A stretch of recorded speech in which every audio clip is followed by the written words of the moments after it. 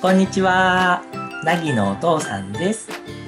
今日はディズニーシーのハッピーエントリーの並び方をご紹介します。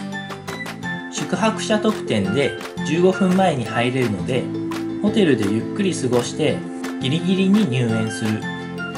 確かにそれもいいかもしれません。しかし、とてももったいないです。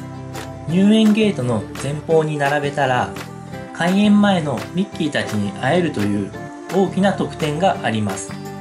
早い人たちは5時30分から並んでいました。私たちは無理しすぎない範囲で前方のグループに入れたのでそのおすすめの並び方をご紹介します。